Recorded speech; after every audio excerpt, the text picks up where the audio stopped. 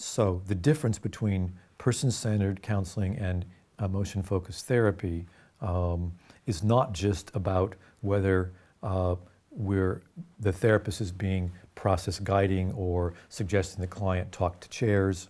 Um, more importantly, uh, uh, EFT has a much higher degree of process differentiation.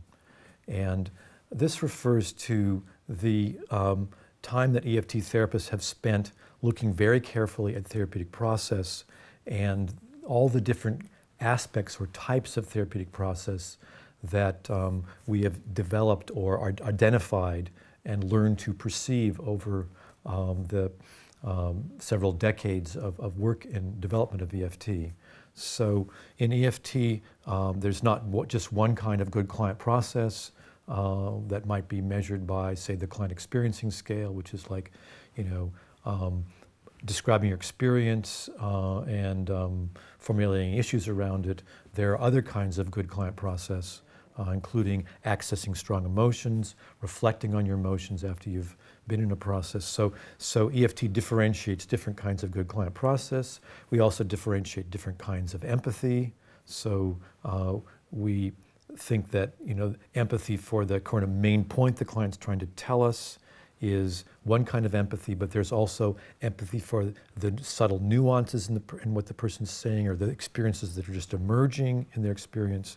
Um, that uh, this is a different kind of empathy. And EFT distinguishes six or seven different kinds of empathy, um, ranging from the main point to uh, what's emotional, most emotionally poignant to um, things that are difficult to talk about that the client mentions and pushes away. So sort of topics that are being avoided um, to the sense of the whole person. So there's many different ways of listening empathically to our clients. And in EFT, we try to employ all of them at different times.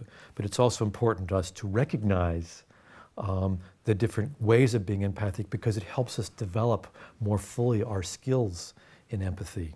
Um, there, and there are many other kinds of process differentiation, but in my experience, um, this degree of, of, differentiation of different kinds of process has been the greatest struggle for um, uh, more classically trained person-centered uh, counselors or therapists in trying to learn EFT.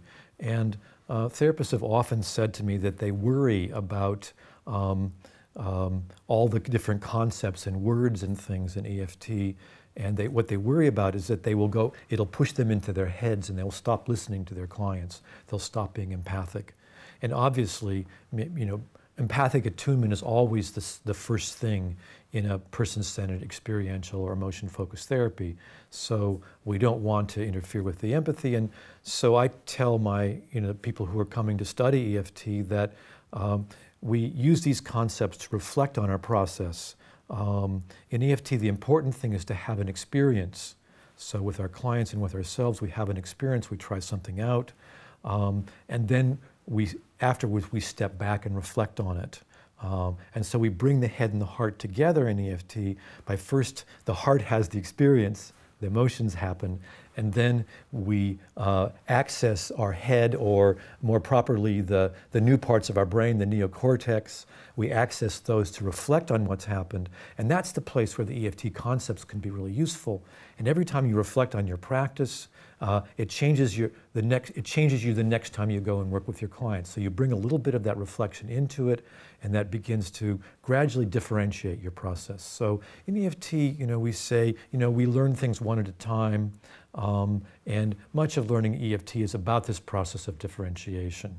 So, for example, with a therapeutic task, um, like um, empty chair work for um, unfinished business with important people in your life, the first thing to know about that task is that there's a task that clients routinely bring to us about unresolved, painful feelings about important people in their lives. And uh, it's really important for us to just know that that's a specific kind of work. So the first thing is to actually know the task. And if we know the task, then we'll be on the same page with our clients. Uh, we won't be you know, trying to work with an internal conflict when actually the client wants to resolve uh, an, un, you know, an unresolved grief with a parent, for example. Um, and so that's a process of differentiation. We start just by having empathy for what the client brings as their intentionality, their agency, the task they offer us in the session. And then the next thing we want to learn is generally what you do with an unfinished business marker. And that's generally to have the client have a conversation with that important person in their life.